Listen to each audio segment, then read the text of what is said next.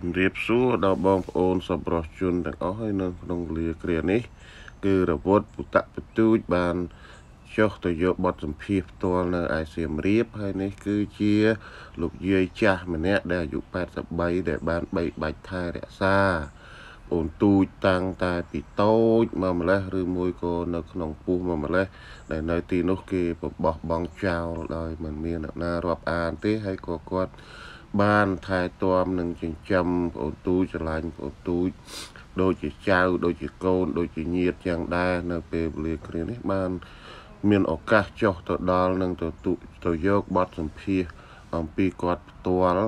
នៅខ្ទមដ៏កំសត់រយៈរយៈនេះហើយក៏អ្នកទាំងអស់គ្នាក៏សូមទស្សនា ហើយនឹងស្ដាប់នៅបទសម្ភាសរបស់អរវត្តជាមួយលោកយាយលោកយាយព្រិញ គួរឲ្យអាណិតគាត់ណាគឺគាត់ចាស់ជរាហើយក្រីក្រលំបាកហើយបងប្អូន មានសទ្ធាជ្រះថ្លាអាណិតអាសូរដល់គាត់ក៏សូមទំនាក់ទំនងខ្ញុំខ្ញុំនឹងផ្ញើថវិកានោះទៅដល់គាត់ដោយផ្ទាល់ដៃតែម្ដងហើយគាត់ចាស់ហើយមិនជារស់បានយូរប៉ុន្មានទេហើយយើងអាចជួយដល់គាត់ នៅគ្រាចុងក្រោយនេះគឺជាការប្រពៃណាស់ហើយជាសេចក្តីល្អដ៏ឧត្តមឧត្តមដែលយើង បានធ្វើហើយចឹងទស្សនាដូចតទៅនៅបទសម្ភាសនេះបាទក៏សូមគោរពជម្រាបសួរពុកម៉ែបងប្អូនបាទឥឡូវនេះខ្ញុំបានមកជួបដល់លោកយាយហើយហ្នឹងហើយដូច្នេះខ្ញុំអឺមកនេះដើម្បីសួរនាំពីជីវប្រវត្តិលោកយាយតិចបាទហ្នឹងពីប្រវត្តិដែលលោកយាយគាត់ចិញ្ចឹមបងទូចបាទ ជំរាបសួរលោកយាយបាទបាទលោកយាយមានឈ្មោះអីដែរលោកយាយមកយាយព្រីងមកព្រីងឈ្មោះលោកយាយព្រីងបាទឆ្នាំនេះដែរលោកយាយមានបច្ចុប្បន្នប្រហែលហើយលោកយាយ83 88 83ឆ្នាំលោកយាយណាបាទអញ្ចឹងយាយមិនផ្ទះមិនផ្ទះថ្ងៃនេះដែរខ្ញុំបានធ្វើដំណើរមកលេងសៀមរាបជាមួយបងទូចហើយក៏ អូនទូចបានប្រាប់ពីប្រវត្តិថាធ្លាប់លោកយាយធ្លាប់បីបាច់ថែរក្សាគាត់តាំងពីទូចមកលោកយាយបានដូច្នេះខ្ញុំមកនេះគឺគោលបំណងខ្ញុំមកសួរសម្ដែងសម្ដាលលេងជាមួយលោកយាយបាទអញ្ចឹងលោកយាយរងថ្ងៃមានកូនចៅប្រហែលអ្នកលោកយាយអញ្ចឹងមានតែមួយទេខ្ញុំមួយណក់ណក់មួយណក់ណក់មួយណក់ណក់មួយណក់ណក់នឹងមិនទៅលោកយាយមើលសំទោសខ្ញុំ ទៅដឹងដែរបាទថាមួយតែម្នាក់បងតែម្នាក់តែម្នាក់ឯងម្នាក់ណក់កូនតែមួយគាត់តាំងពីអើយណាណក់ណក់តែម្នាក់ឯងសុំទោសផងតែថាខ្ញុំអត់ទៅបាទតាមមានកូនស្រីផងកូនប្រុសទៅតែមិនសួរអាកូនបាទបាទ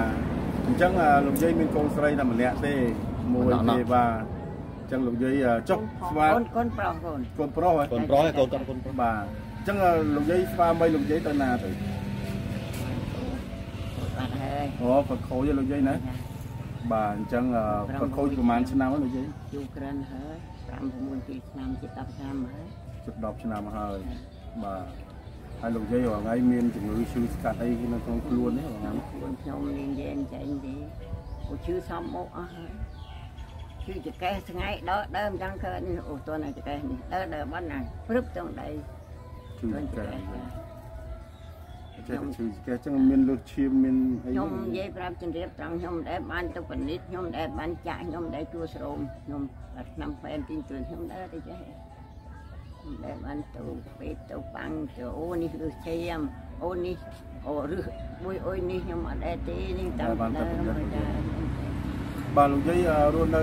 ភូមិនេះគេហៅភូមិអីស្រុកអីភូមិអីលោកយាយដែលឈ្មោះចៅទៅមកអត់ស្គាល់បាទបដាបា ទភូមិបដាក់ឃុំបដាក់អញ្ចឹងឯងបាទឃុំបដាក់ស្រុកបន្ទាយស្រីបាទអញ្ចឹងដូច្នេះថ្ងៃនេះខ្ញុំបានឮបងទូចថាពីទូចមកដែលលោកយាយចិញ្ចឹមបីបាច់ក៏ដូចជាថែរក្សាបងទូចអញ្ចឹងអញ្ចឹងថាពិតទេលោកយាយពិតមែនទេខ្ញុំនៅតាំងតា បែកគ្នាទីវាទៅណោះឯងទៅណោះវាមកញឹកញាប់ដែរប៉ុន្តែមិនពីខ្ញុំមកលើពីខ្ញុំចេះជរីជរីខាងទៅអញនិយាយអុយទីចេះវាចង់បាទ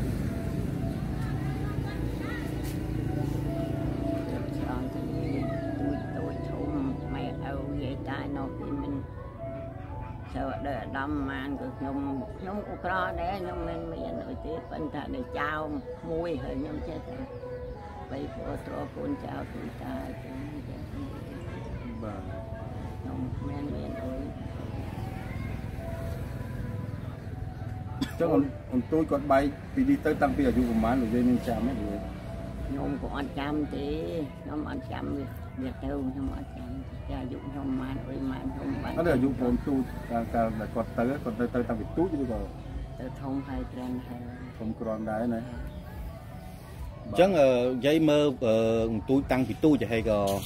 តាំងពីក្រហមអញមកហ៎តាំងតែពីសម្រាប់ចិននៅក្នុងអូទេវតាតាំងពីដុតភ្លើងឡើងអញ្ចឹងដុតភ្លើងឡើងចាបាទពួកឯងខ្ញុំស៊ូគាត់ខ្លះខ្លះដែរអញ្ចឹងដឹងខ្លះខ្លះ ទៅពោះធំសម្ដាលនេះអុយនេះហត់តែធំពីរវីឡើងទៅទៅទៅចេះអុយម្លេះទៅចែងទៅបាទបាទចឹងនៅភូមិស្រុកនេះលោកយាយរស់នៅទីនេះតាំងពីស្រុកកំណើតតាំងពីចុកកណើតកើតជានៅទីនេះរហូតចាចាបាទហ្នឹងហើយអញ្ចឹងបងទូចមានសំណួរសួរសុខទុក្ខលោកយាយព្រោះគាត់យើងខានមកជួបគាត់យូរហ្នឹងហើយបាទសូមជឿខ្ញុំក៏អត់មានសំណួរអីសួរគាត់ទេគាត់ថាមកទៅក៏នឹកឃើញប្រវត្តិខ្លះខ្លះទៅខ្ញុំអឺ និយាយច្រើនពេកអត់សូវដូចនិយាយគាត់អត់សូវហ៊ាននិយាយខ្ញុំអត់ហ៊ាននិយាយដោយសារតែនិយាយប្រវត្តិច្រើនពេកនឹកឃើញច្រើន បាទប្រវត្តិខ្ញុំគឺមានច្រើននៅភូមិស្រុកកណើតផងខ្ញុំណាបង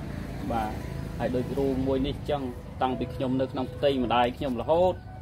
ហើយខ្ញុំភ្លោះមកខ្ញុំកើតមកផឹងគឺបានគាត់អឺប្រមាណអ្នកណា បាទបាទអាដុតភ្លើងអ៊ំវេតអីគាត់ខូចអស់ហើយនៅតែគាត់ទេចាស់ជាងគេណានៅតំបន់នេះណាដែលនៅណាកូនយីវេតអុយអុយនឹងក៏ឃើញអស់ហើយអើបាទអាំងបានទាំងឆេះកទៀតពួកខ្ញុំរត់ទៅវាបបាគ្រាប៉ុណ្ណេះខ្ញុំនិយាយទៅអឺនិយាយទៅប្រវត្តិខ្ញុំនៅនេះវាវែងឆ្ងាយពេកបងអញ្ចឹងខ្ញុំមិនអាចនិយាយគ្រប់អស់ទេដោយសារអឺដូចដូចតែគាត់រស់នៅរាល់ថ្ងៃហ្នឹងអឺ គាត់អឺបានដុតភ្លើងឲ្យចំណៃបាយរេចំណៃរេទឹកអីខ្ញុំណាតាំងពីខ្ញុំនៅក្នុងពោះម្ដាយខ្ញុំណាបងបាទណែការដែលខ្ញុំរស់នៅក្នុងផ្ទះក្នុងផ្ទៃម្ដាយខ្ញុំហ្នឹងគឺគាត់ហើយអ្នកដុតភ្លើងមើលថែតែដល់ពេលខ្ញុំធំដឹងក្តីតាំងពីអាយុនិយាយចំទៅខ្ញុំចេញពីខេត្តសៀមរាបទៅធ្វើការសំណងការងារផ្សេងផ្សេងទៅមកទៅមកហ្នឹងគឺខ្ញុំក្នុងអាយុអឺអាយុអឺអាយុ13ឆ្នាំ14ឆ្នាំអញ្ចឹងណាបងបាទបាបាទទនៅវត្ត 15ហើយក៏នៅបាទកាលនៅវត្ត15ហើយកាលនៅវត្តចេញពីនោះវិញក៏រហូតដល់ចេញពីវត្តវិញគឺខ្ញុំរហូតបដ ாய் គឺខ្ញុំទៅលេងអឺដូចថាលេងត្រឡប់មកវិញណាបងបាទគឺមានអឺប៉ុន្តែបើនិយាយទៅគឺខ្ញុំអឺមិនរៀបរាប់អស់ទេដោយសារតែប្រវត្តិខ្ញុំវាវែងខ្ញុំឆ្ងាយអពេត់កចង់និយាយទេតាំងពីម៉ែវាពោះទូចពោះទូចអត់អត់យ៉ាងណាទេដល់តែខ្ញុំឆ្ងាយខ្ញុំអត់ចង់និយាយទេ បាទ អាក្រក់ហើយទឹកសាប់ហើយអត់មានទីលំនៅទៀតឲ្យជួទៅកូនជាមួយបងពូនិយាយតែប៉ុណ្ណេះបាទឥឡូវមិនបីទេយើងនិយាយទៅខ្ញុំអឺរស់ដោយសារយាយក៏ដុតភ្លើងហើយណាមួយក៏រស់ដោយសារបងប្អូនអ្នកភូមិជួនកាលបាយផ្ទះនេះមួយចានជួនកាលបាយផ្ទះហ្នឹងហើយបាយផ្ទះនេះមួយចានបាយផ្ទះនោះមួយចានអញ្ចឹងណាបងបាទបាទដើម្បីតែរស់រស់ទៅឲ្យតែរស់រៀនមានជីវិតដល់រាល់ថ្ងៃហ្នឹង និយាយចំទៅគ្មានផ្ទះគ្មានសបែងអីជ្រកកូនដឹងធឹងដូចគេទេកូនអារឹកអារីខ្ញុំណាដូចជាក្មេងអាណាថាម្នាក់នៅនៅភូមិនេះអញ្ចឹងឯងខ្ញុំបាទស្រកនៅភូមិនឹងនេះស្មាតទួតអើមានចេះមានថ្មីនឹងឯស្មាតទួតឆោតលីអត់មានចេះចាំចោលនេះខាងនោះចេះនិយាយទីក៏ទួយហើយទួយទៅមានបានមកណាបាទមុនជឿទៀនទួយហើយពួកខ្ញុំទួហើយបងខ្ញុំរូនមួយបងវី អូទៅតែធំទៅចេះបោចេះមេមអស់ចេះដើរចេញពីវេតទៅបាទតែខូចនៅតែខ្ញុំថាដូចវាថានៅតែខ្ញុំនេះបីពួតទៅអាហារនោះក៏ទៅអស់ណាក៏ទៅអស់ហើយតែបាទអញ្ចឹងសម្ងាយលោកយាយរស់នៅតែពីរអ្នកកូនទេអញ្ចឹងចាចានោះគឺចាអញ្ចឹងកូនគាត់ក៏ប្រកបមុខរបរអីដើម្បីចិញ្ចឹមលោកយាយ អត់អីធ្វើការចំណងធ្វើអុយអុយអស់ស្មាតទូប៉ុន្តែមិនត្រីមិនឆៃទៅដាក់ទ្រូដាក់លេទៅប៉ុណ្ណេះចំណាញ់ចំណយទៅក៏ហ្គេមរស់ក្នុងត្រីសាច់ទៅលក់ពី3គីឡូអីទៅដល់អត់ទឹកចឹងអត់ពីបាត់អុយហូបាទអើយពី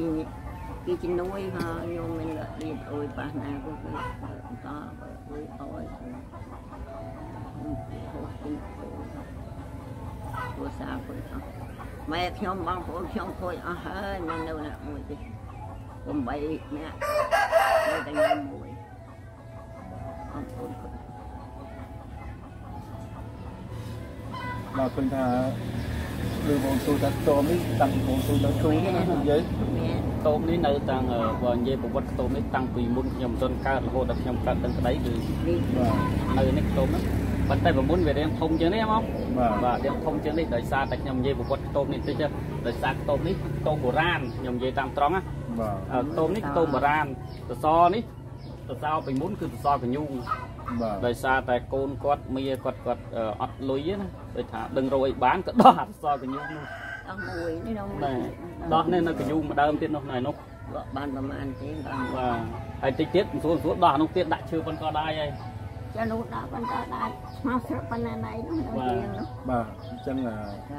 អត់អីទេយើងខ្ញុំខ្ញុំគិតថាញោមគឺខ្ញុំត្រង់វិញហើយ ខ្ញុំតែនិយាយអើកូនដែលថាអុយបាននេះទៅនោះបាទបាទអញ្ចឹងលោកយាយសមនេះហូបបាយហើយណាលោកយាយអមមកវិញបាទបានមកហូបវិញថ្ងៃនេះលោកយាយខ្ញុំលើកដៃព្រៀមទៅហូបថាដូចញ៉ាំតាមសើ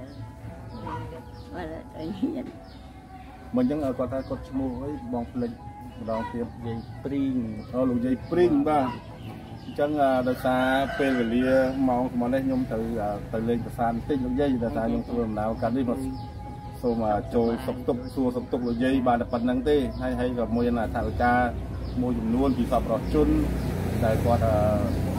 ញ៉ាតាមរយៈបងមុខសំអល់ដើម្បីយកមកឲ្យខ្ញុំមកជូនទៅដល់ជនចាស់ជរាលោកយាយណាអញ្ចឹងខ្ញុំបានដកជាថាវិការអឺសពរដ្ឋជនយើងបាទជូនទៅទៅលោកយាយបាទ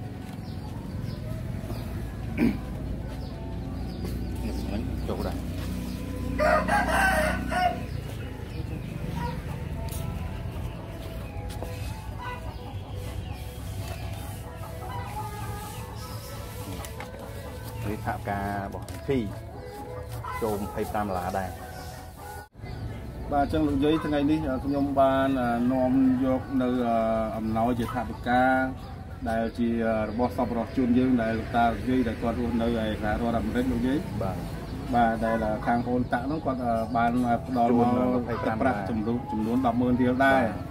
បាទដែលជាទឹកប្រាក់ដែលសពរដ្ឋជនយើងនៅអាមេរិក ក៏ផ្ញើទៅបងតាក់ដើម្បីធ្វើបុណ្យណាណាបាទហើយខ្ញុំក៏បាន100,000រៀលទៀតដែរដើម្បីជូនលោកយាយលោកយាយណាបាទអញ្ចឹងលោកយាយសូមទទួលយកផងហើយនឹងចុងក្រោយលោកយាយមានពាក្យពេចន៍ដើម្បីជូនពរទៅលោកតាលោកយាយដែលគាត់រស់នៅ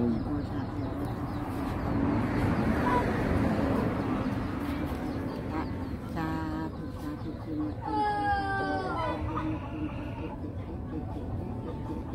ពុទ្ធនេទេនជារងហន្ត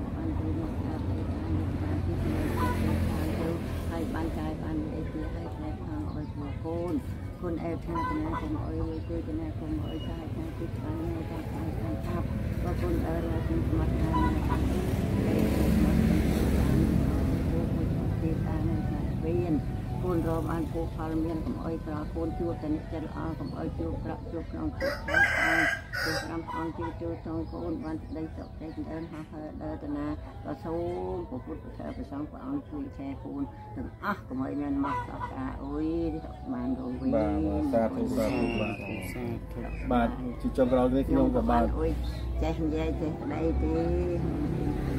បាទលោកយាយអត់ទៅចេះនិយាយគាត់បានមកវែងឆ្ងាយគាត់នឹងបាទ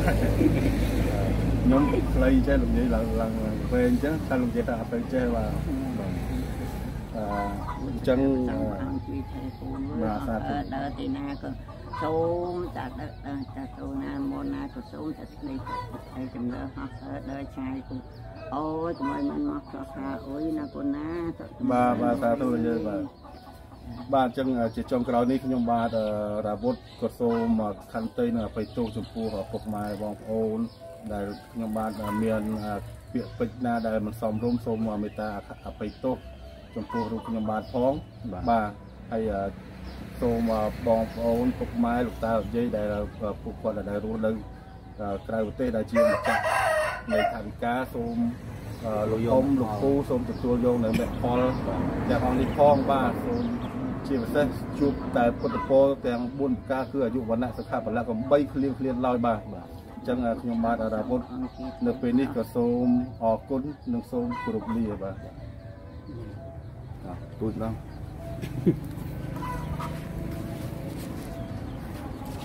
បាទពុកម៉ែបងប្អូននៅក្នុងបណ្ដាញសង្គម YouTube តែងតែនិយមតាមតាមគឺដល់ទីបញ្ចប់ហើយបាទបងប្អូនទាំងអស់គ្នាឬសពប្រជនយល់ថាអំពើទាំងអស់នេះត្រូវហើយជួយគ្រប់គ្រងដល់ Channel USKK Share Channel ឬក៏ពុទូចពុតៈពវត្តជាដើមក៏សូមជួយចុច Subscribe ម្នាក់មួយម្នាក់មួយ ហើយនឹងសូមកុំភ្លេចចុចសញ្ញារូបកណ្ដឹងផង ដើម្បីទទួលបាននៅខ្សែវីដេអូថ្មីថ្មី